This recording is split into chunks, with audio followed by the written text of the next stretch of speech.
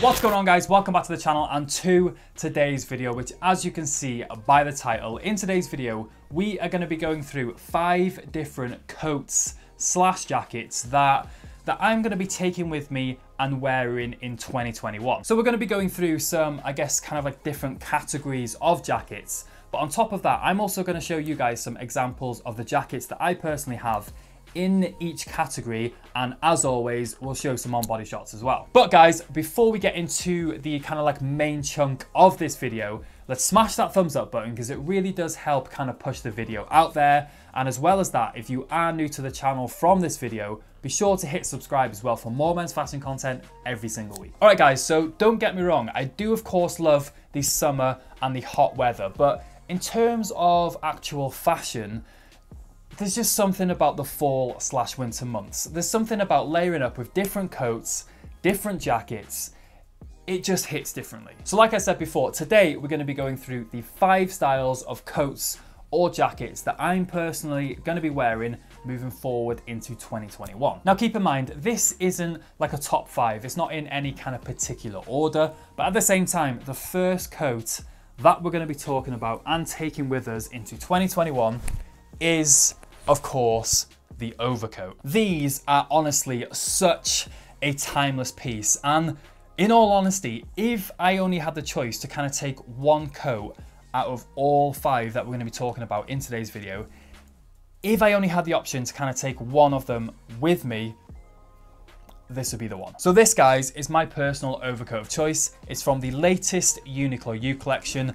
You guys have seen me style this multiple different times before, but honestly, I absolutely love this piece. There's honestly so many different ways in which you can style the overcoat. You can of course be super formal, but on the flip side of that, you can also really dress them down and be super casual, which is exactly how I personally like to style them. So as you can see guys, I do actually like to size up in these just to kind of, I guess, enhance that oversized casual look. But on top of that, sizing up, it does then also give you the room to kind of layer maybe a hoodie or a sweatshirt underneath on those colder days. In terms of actual recommendations of where to shop, like I said before, mine is from the latest Uniqlo U collection. I'll link everything in the description down below. Um, but I picked this up from Uniqlo U. There's also some great options over at Weekday and Zara. But on top of that, if you do have a much higher budget, there is a grail of mine, an absolutely beautiful piece that is from Ami Paris. So guys, the next jacket that I'm gonna be wearing and styling into 2021 would have to be the puffer jacket. You guys know that I absolutely love styling the puffer. And in all honesty, a year or two ago, I would have probably said that the puffer is more of a trend. But if that is the case, then it's definitely a trend that's here to stay. You guys know that I actually have quite a few different options when it comes to puffer jackets, but the puffer that we're gonna showcase in today's video is this beauty. So this is the Cole jacket or the Cole puffer jacket that is from Weekday. So similar to overcoats, I like puffers to have an oversized fit to them to really kind of give off that casual cozy style that I personally go for and Weekday have absolutely perfected that fit and look. Again guys, multiple different ways in which you can style these, but what I would say is these are definitely more of a casual look in comparison to the overcoat, which like I said before, you can go a little bit more formal with them. I would say the puffer jacket is definitely a lot more on the casual side. But guys, a nice wide leg crop trouser, maybe a basic tee or a sweatshirt underneath, some chunky sneakers, and you're good to go. You guys know that that is definitely my kind of vibe when it comes to styling puffers. So like I said, this particular piece is actually from Weekday, but a few other, I guess, kind of retailers or brands that I would recommend would be Summit, I would say Cold Laundry and Cole Buxton. But on top of that, if you are on a little bit more of a budget, I would say check out the ASOS design section as well as Zara. Right guys, so next up, jacket style number three is workwear jackets. Now this this is definitely a style of jacket that is new to me. Something that I am only just kind of, I guess, venturing into. But at the same time, I am really excited to kind of see how I can implement them into my personal style. So this style of jacket definitely does have more of a kind of like vintage feel to them, which I absolutely love.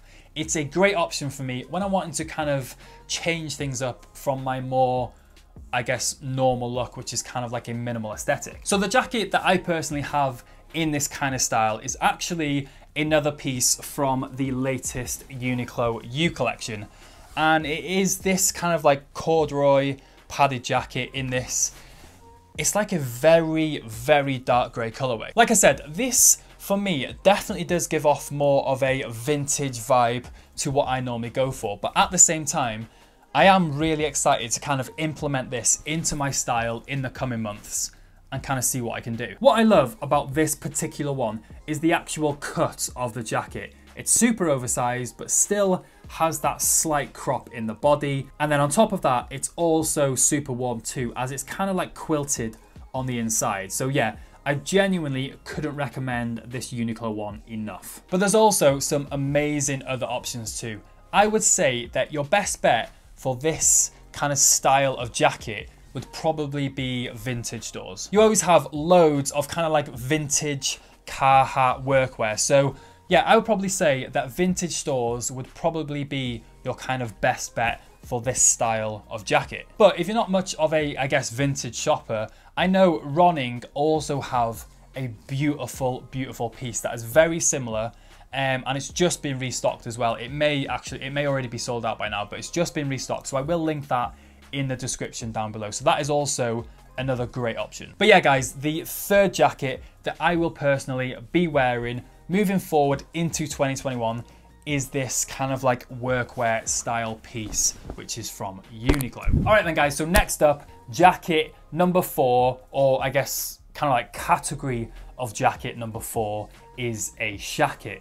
I, I think that's what they're called anyway. It's basically it's basically a mix between a shirt and a jacket. Shacket.